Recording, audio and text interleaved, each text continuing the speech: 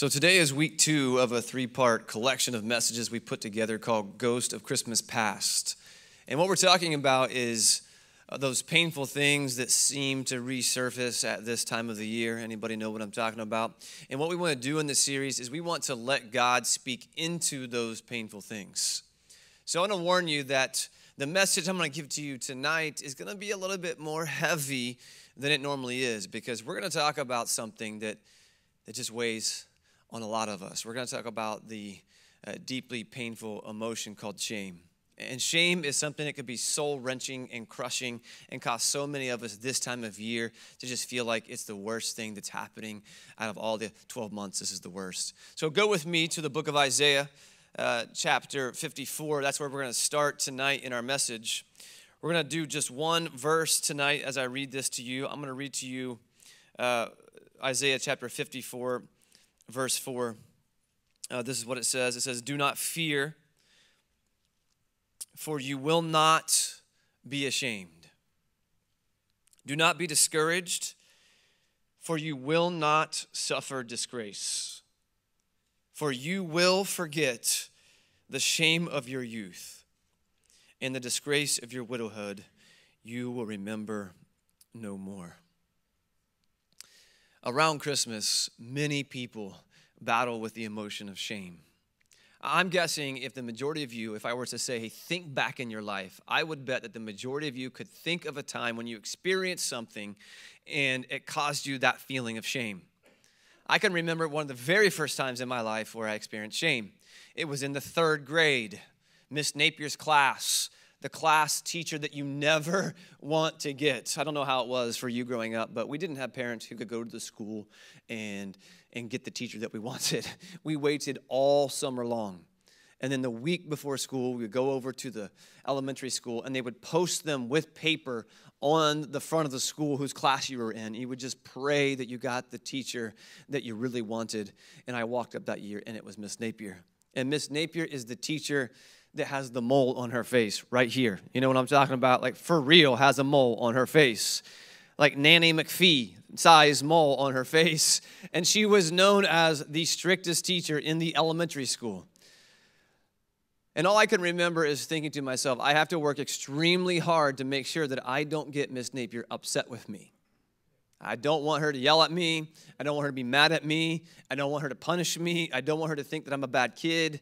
And there was one day that I just couldn't avoid causing myself to feel some shame in front of her. And here's what happened I, I was always a good kid in school. I, I wouldn't get in fights, I wouldn't talk back to the teacher, other than the time my music teacher wanted me to uh, play the recorder. that is the world's Uh, most awful sounding instrument I think that we've ever created, especially if you put it in the hands of elementary students, because all we want to do is just make squeaky noises with it. And in music class, I refused. I'm not going to play a recorder. And she said, Coy, get out of my class. So that was the only time I'd gotten in trouble. That was in the second grade. And so here we go in the third grade, and I have never gotten in trouble other than that moment. And there was a day that I was really fighting and trying to avoid getting in trouble. But all I wanted to do was just go to the bathroom. That's it. That's all I wanted to do. I believed if I could just go to the bathroom, that I could avoid getting myself in a bad situation with Miss Napier. Because the reason I needed to go to the bathroom is because I was feeling like I was about to get sick. And I'm a kid who also doesn't like to feel sick and, and, vomit because my family was the kind of family who, whenever I would get to that place where I would throw up, it's it became a family joke. They would laugh at how I threw up. Like, I don't know what other kind of families do that if you laugh at your family members when they throw up, but my family would laugh at me and they'd be like, You sound so weird when you throw up. And so I would go into the bathroom and my family would be laughing at me. And so I did not want anybody to know that I was sick, but I needed to go to the bathroom so that I could get this taken care of. And so I went up to Miss Napier and I said, I, I, I need to go to the bathroom. And she said, No, you don't. Go back to their seat and sit down. And so, as a kid that didn't want to get in trouble, I just walked back to my seat and sat down. I thought, I, I can hold this down a little bit longer. And then I couldn't much longer. And so I went back to Miss Napier and I said, I really need to go to the bathroom. And she said, No, you don't. Not until I'm done teaching. Go back to your seat. So I went back to my seat and I held it down. And you have all probably experienced this before where it starts to rise in your throat. You can almost taste it on your tongue. And I tried my best to keep myself and prevent that from happening, like in the middle of the classroom, but I couldn't hold it anymore. And so, as I was sitting there in the middle of class, I just threw up all over my desk. And all the kids looked at me, and I got embarrassed. And so, I run up to her trash can and decided to throw up the rest of it in her trash can. And then I had to run out of the classroom into the bathroom all by myself. And after I was done, I had to walk the march of shame back into my classroom where my kids all my, my classmates all saw me throw up the kid whose family makes fun of him for making so much noise.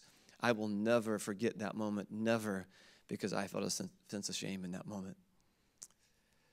And I'm guessing some of you in this room, maybe it's not the same story as mine, but I'm guessing there's something in your life where you have done something and it has caused you to feel a sense of shame.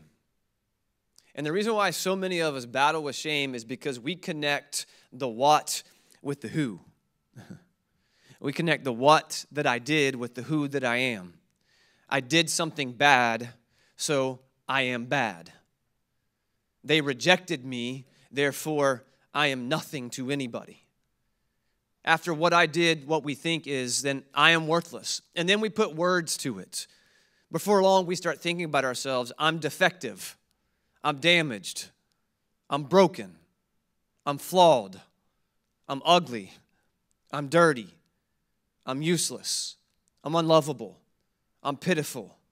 I'm weak. I am unwanted.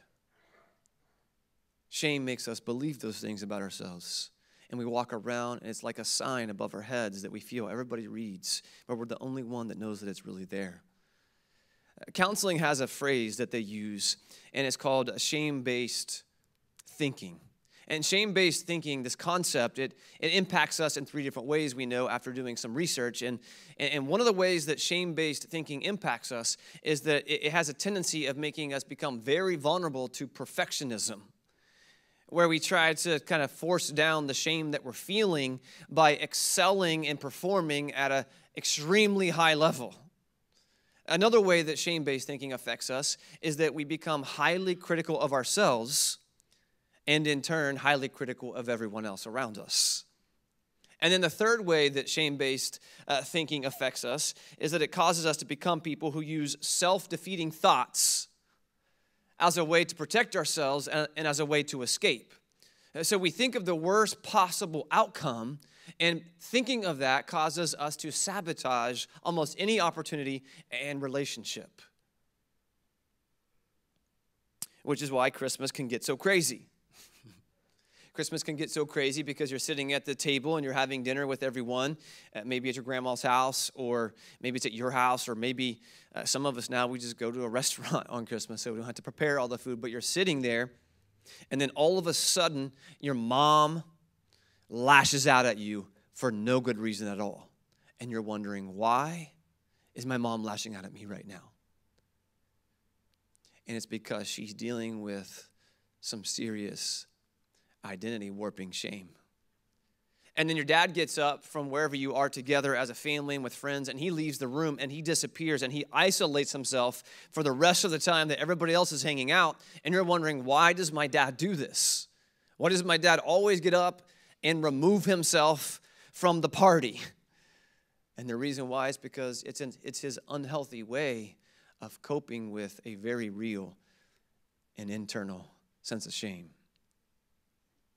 And then you're somewhere around people during the Christmas season, and everybody that's around you seem to be poking and prodding at the fact that you're still single. They make comments about the fact, well, why, why are you still single? And you're asking yourself, why do they do this to me every single holiday, especially Christmas? Why do they care if I'm single? It's not their problem, it's not theirs to worry about. And why do they have to bring it up every single Christmas? And the reason why is because they've struggled They've struggled to achieve something that they've wanted in their life. And then what's your reaction? And your reaction is to become extremely critical of everyone because deep down inside of you, you have your own sense of shame. And so, what I want to do this Christmas is I want us to think about and I want us to pray and I want us to imagine that God can do something, a very strong, real healing work in our lives to set many of us free from the dark and devastating emotion of shame. That's my prayer for all of you. And my prayer comes from the prophet Isaiah in his book in chapter 54, verse 4, where God speaks to the Israelites what I believe God would speak to you where God said, Fear not. You will no longer live in shame. Don't be afraid. Don't be afraid. There is no more disgrace for you. You will no longer remember the shame of your youth. Which causes me to ask the question how in the world is it possible for us to become completely free of the shame of our past? How is it possible? in the Gospel of John, chapter 1, verse 9, it, it tells us this it tells us that Jesus is faithful to forgive us our sins and cleanse us if we are willing to confess. In the Gospel of John, chapter 1, verse 9, it tells us that God is so good that God will forgive you even though you don't deserve it. God will forgive you so that you no longer have to live continuing in this place where you feel a deep sense of shame. God is that good that God forgives you. The problem for many of us, though, is that we know intellectually that Jesus forgives us. And we know intellectually that God wants to make us new. But in our hearts, it's still polluted with shame. Like we've already learned in Bible school, for God to love the world, that God gave God's only Son so that whoever believes in him should not perish but have eternal life.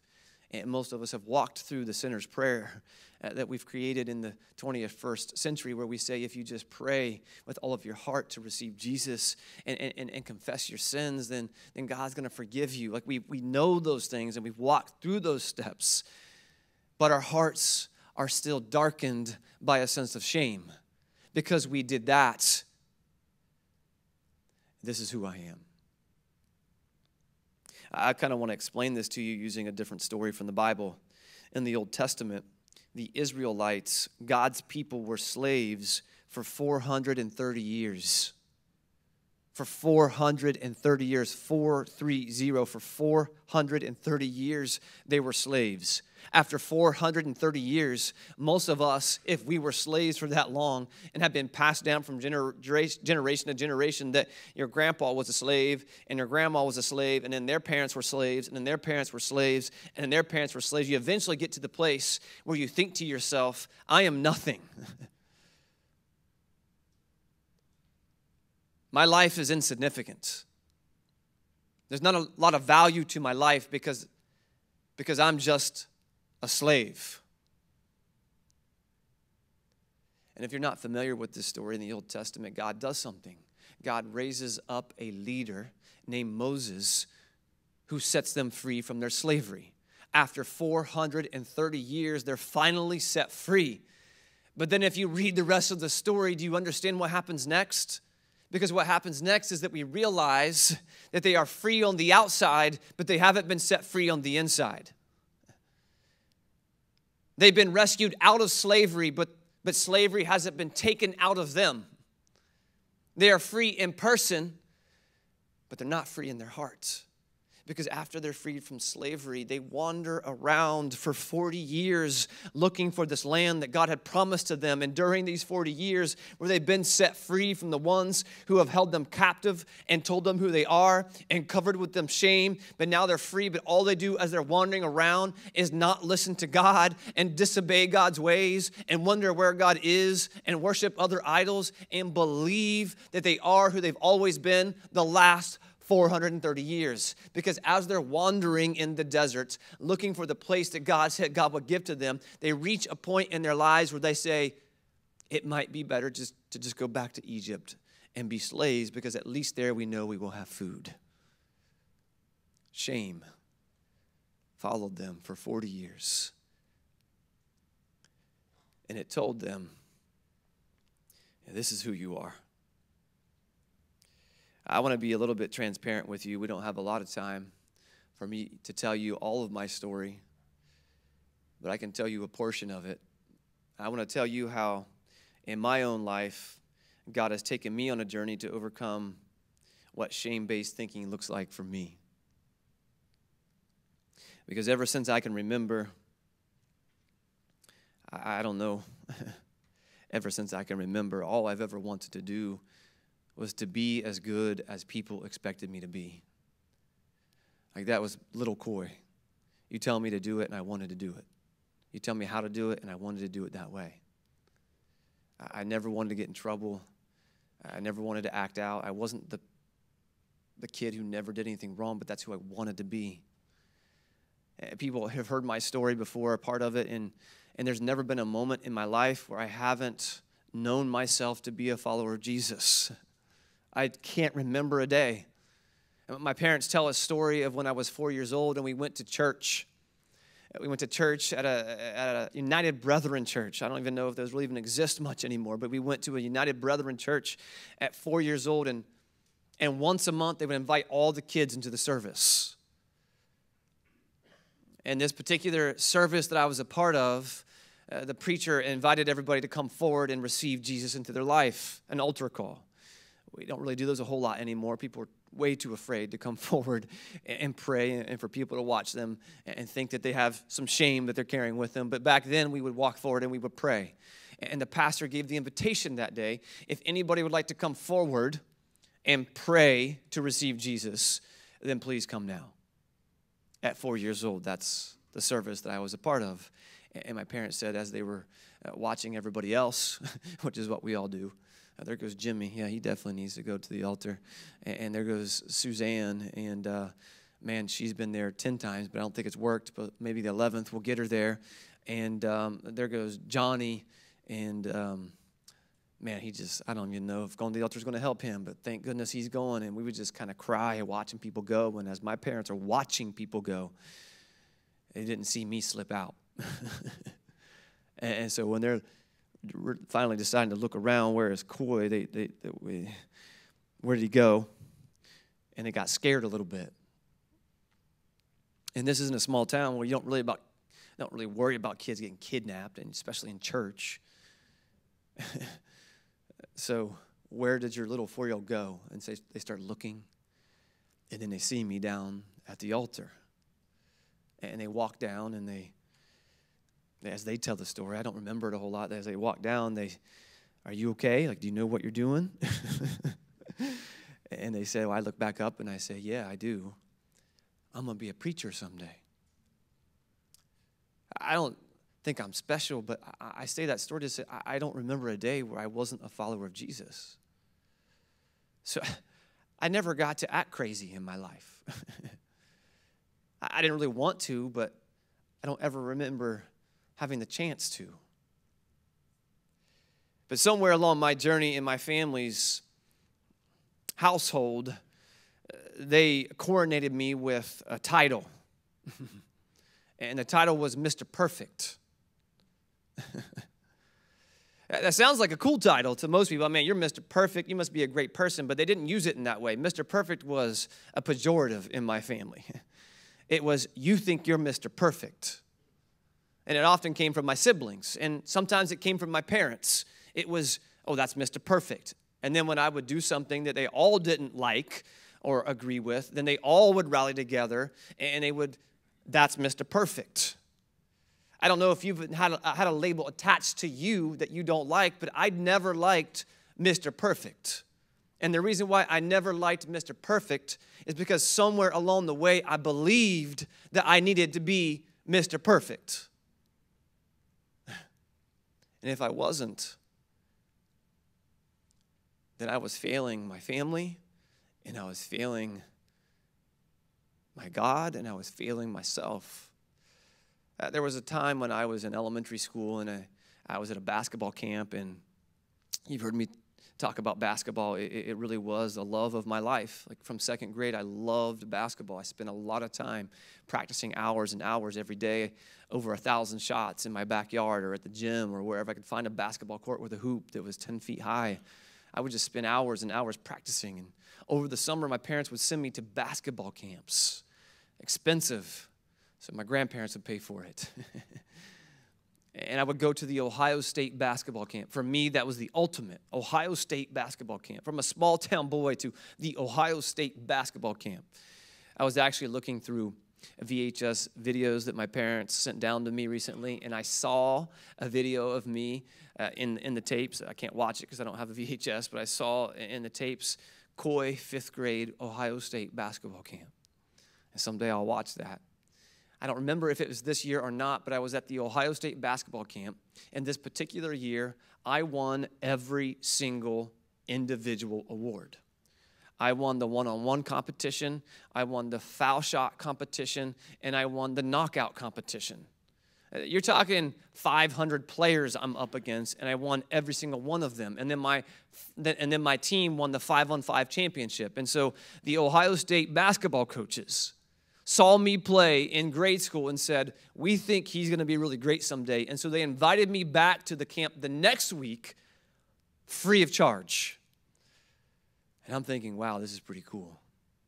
And so I stay another week and I play basketball camp and I start to win all those things again. I win the free throw competition and I win the one on one competition and I win the knockout competition. And then we get to the five on five championship.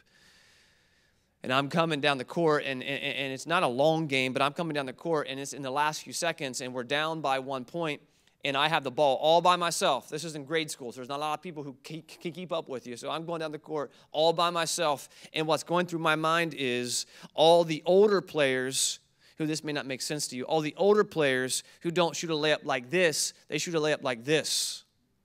So this is a normal layup like this. This is a finger roll. You finger roll. And I'm in the fifth grade thinking, I, am going to finger roll this because I, I want to prove to everybody that I'm the best. And so as I'm going down the court and I'm thinking about shooting this layup, I'm thinking, I got to do this. And so I got down there all by myself, nobody around me. And I shoot the finger roll, and what do you think happens? Missed it. But we got another chance. The other team got the ball, came back down. There was enough time. We got the ball again, and you're not going to believe what happened. The exact same thing happened. I got the ball by myself, dribbling down the court. It's my chance for the exact same shot a second time. And I'm thinking to myself, do I finger roll or do I not finger roll? Do I do a regular layup or do I go fancy? And I got so confused on what to do, I don't even remember what I did, but guess what happened? I missed it again. and we lost. And I can tell you from that day forward, I could never shoot a layup confidently. Weird. I was the kid who lost the game twice on the same shot. and I carried that shame with me for a long time, and I've carried it with me in all areas of my life. Uh, if you live in my brain, it's not, it's not always so fun. Uh, Brooklyn can tell you, my kids can tell you, it's just not fun sometimes. I, I want to give myself a break, but I can't. So if you take that little story of who I am, I, I was a kid who wanted to do what was good, and then I got the label Mr. Perfect, and then I, I make a big mistake and the most important thing in my life, basketball at the time. And then fast forward to today. And today, I am a husband to Brooklyn. I am a dad to Kira and Maya. I am a friend who trains for marathons. I am a 40 year old, 41 year old who goes to the gym at least four days a week. I am a pastor to this amazing church. I am an assistant cross country coach for my daughter's school. I am a, a volleyball coach at a middle school. And amidst all those things, where I go wrong, And where I struggle is and where I get myself into trouble is that every single day I wake up and I realize that Coy, you fall short of being the best. and that's hard for me. I wake up and I realize, Coy, you fall short of being the best. You're meant to be Mr. Perfect. That's who you are. That's who people said. That's the label you've been given as you are Mr. Perfect. And so there's every single day of my life that I wake up and I realize I'm not the best preacher. I'm not the best speaker. I'm not the best fundraiser. I'm not the best church grower. I'm not the best dad. I'm not the fastest runner. I'm not the best husband. There's always somebody better and something better than I am. And there's days where that shame weighs heavy on me. But what I've learned is that the only way to heal from shame is to move the focus from what I'm not to who Jesus is. Because I am not perfect, but Jesus is. and the perfect one has forgiven me for my imperfections. Remember, I talked to you about the Israelites? If you were to go to the book of Joshua, chapter 5, verse 9, you'll see that they've been wandering around for the 40 years after they've been freed from slavery. And then God says to Joshua, Today, Joshua, today, I have rolled away the shame of your slavery in Egypt. I have rolled it away.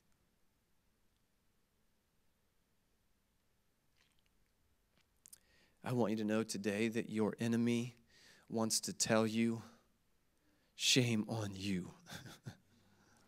your enemy wants to tell you, shame on you. Shame on you for doing that. Shame on you for failing at that. Shame on you for making that decision. Shame on you for never becoming that person. Shame on you for not getting that promotion.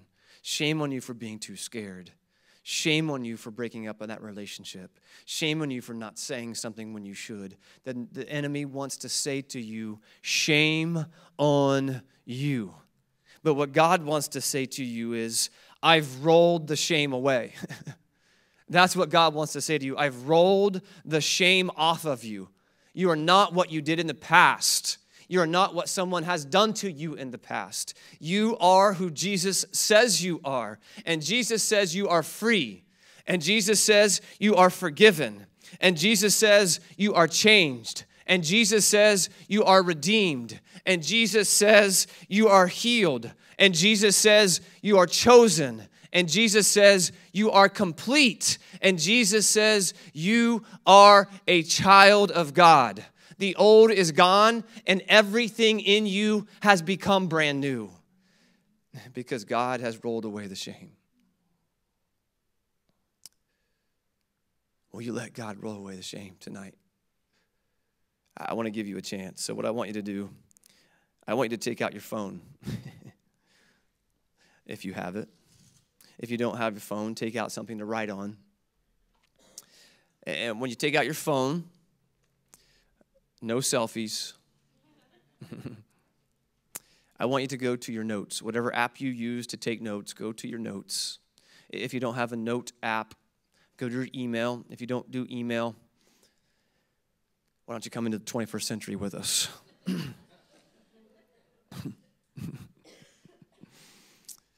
So, in your notes, I want you to type in these words I am not. And then dot, dot, dot. And then I want you to type in these words. So, type in I am not, dot, dot, dot. And then type in these words Because of Jesus, I am, dot, dot, dot. I am not dot, dot, dot, because of Jesus, I am, dot, dot, dot. And this is going to be personal to every single one of you. But in a moment, I'm going to ask us to stand and pray. And as we pray, I want to take just a moment for you to think about who I am not. And because of Jesus, who I am. And I want you to write the answer in your notes because I want that to be the thing that you carry with you through this Christmas season and for the rest of your life. So, if you're not sure what this looks like, let me give you a couple examples. I am not bad because of Jesus, I am forgiven. I am not broken because of Jesus, I am made new. I am not inadequate. Because of Jesus, I have been given and I am more than enough. So answer that question and fill in those blanks for yourself. I am not what? I am not perfect, but because of Jesus, I have been cleansed and made white as snow. Stand with me, will you? Go ahead and, and bow your heads a moment. We're talking about ghosts of Christmas past. There's been a lot of Christmas seasons in the past that you've carried some shame with you and you're trying to bring it with you into this Christmas and and God is saying don't listen to that ghost. Let it go. But in order to do that, you're going to have to claim something tonight. You're going to have to claim this is who I am not, but because of Jesus, this is who I am. So take a moment right now. I'm just going to let us be in silence as the band plays just a little bit behind me. And I want you to ask God, Who am I not? And because of your Son, who am I? Let's pray for a moment and think about that.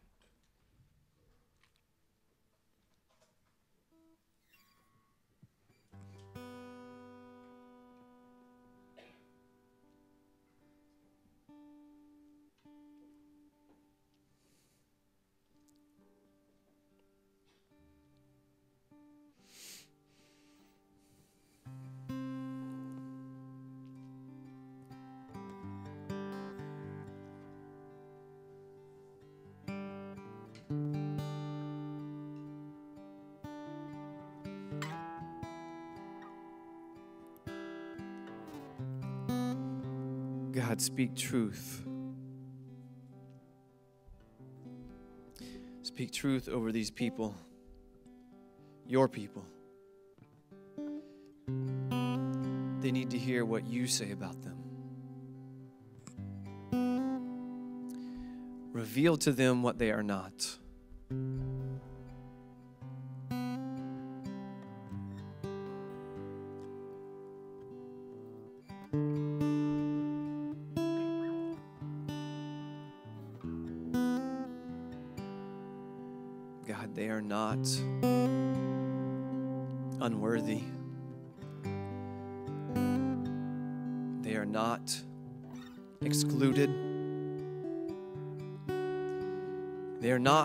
Unforgivable.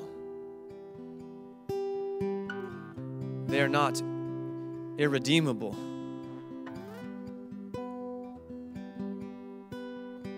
They are not completely, completely destroyed. They are not prisoners of our enemy. They are not captives to sin. They are not mean. They are not un- angry. They are not bitter. They are not unforgiving. They are not ugly.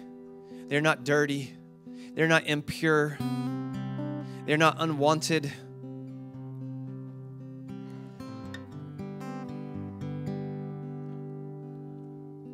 Because of you, Jesus. Because of you, because of your forgiveness, and because of your love, and because of your grace, and because of your mercy, and because of your glory, and because of your perfection, and because of your sacrifice, and because you love every single person, and because you are the creator, and because you are the healer, and because you are the one who takes dirt and and makes a beautiful creation because you speak truth into our life, because you cast out all fear, because you are always with us, because you help us pass through the seas, because you help us forgive those who have hurt us, God, because of you. We are made new, we are alive, we have great futures, we have a healthy marriage, we have new opportunities we have a clear mind, we have a forgiving spirit, we have a, a heart that wants to follow you. We are beautiful, we are loving, we are kind, we are all the fruits of the Spirit. God, we are all the things that you want us to be because of you. So, God, right now, speak truth over us. Let us hear the truth, God, not let us live in fear. Fear wants to tell us all the things that have hurt us, and it wants to tell us if we get close to those things again, it will hurt so bad. It will hurt so bad that you won't be able to handle it. And so we walk around living in fear of the pain that we've already experienced in the past. And so we live with that shame day in and day out, and we miss things that you want to give us, and we don't open gifts that you've offered us to have in our lives, and we don't experience love that's right in front of us, God, because we're afraid, because we carry the shame. So, God, right now, erase the shame, remove it. And, God, if there's someone here that is willing to confess, let them confess with me, God, I fall short. I'm not the best. I'm not perfect. And I never will be until the day you return. And you take every ugly thing about me and you cast it as far as the east is from the west. God, forgive me. I have been wrong. And make me new. In your name we pray.